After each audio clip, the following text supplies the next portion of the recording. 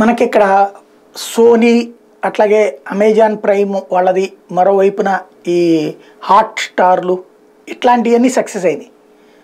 చివరికి సన్ నెక్స్ట్లు ఇంకోవైపున ఆహా ఇట్లాంటివన్నీ కానీ నెట్ఫ్లిక్స్ దెబ్బతింది ఎందుకంటే విపరీతమైనటువంటి సబ్స్క్రిప్షన్ అమౌంట్ ఉంటుంది. అయితే మొన్న మధ్యన అది వర్ష నష్టాల తర్వాత దాన్ని సరిచేసుకుంది కొంత తగ్గించిందంట ఫీజులు. దాని ఇంపాక్ట్ ఇప్పుడు భారతదేశంలో భారీగా పెరిగిందంట. దీని ఇంపాక్ట్తో నూట పదహారు దేశాల్లో సబ్స్క్రిప్షన్ ఛార్జీలు తగ్గించిందంట. భారత్లో అమలు చేసిన వ్యూహం సత్ఫలితాలను ఇస్తున్న బుధవారం కంపెనీ ఒక ప్రకటనలో తెలిపింది. దీంతో ఇదే వ్యాపార నమూనాను ఇతర ప్రాంతాలకు విస్తరిస్తున్నట్టు చెప్పింది. తక్కువ ధరతో సబ్స్క్రిప్షన్ ప్లాన్లను ప్రకటించిన తర్వాత భారత్లో కస్టమర్ ఎంగేజ్మెంట్ ముప్పై శాతం పెరిగినట్టు నెట్ఫ్లిక్స్ తెలిపింది. అదే సమయంలో వార్షిక ప్రాతిపదికన ఆదాయం ఇరవై నాలుగు శాతం వృద్ధి చెందినట్టు వెల్లడించింది. రెండు వేల ఇరవై ఒకటిలో తొలిసారి సబ్స్క్రిప్షన్ ఛార్జీలను ఇరవై ఆరు నుంచి ఇరవై నుంచి అరవై శాతం నెట్ఫ్లిక్స్ తగ్గించింది.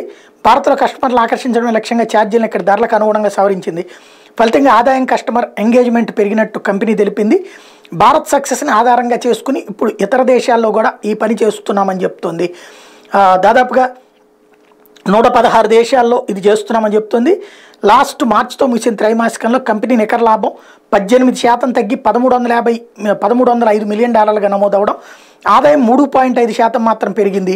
ఎనిమిది వేల నూట అరవై రెండు మిలియన్ డాలర్లకు పే చేరింది. ప్రపంచవ్యాప్తంగా సబ్స్క్రైబర్ల సంఖ్య నాలుగు పాయింట్ తొమ్మిది శాతం నుంచి రెండు వందల ముప్పై రెండు పాయింట్ ఐదు మిలియన్లుగా నమోదవడం అన్నటువంటి ఇక్కడ ఇంపార్టెంట్.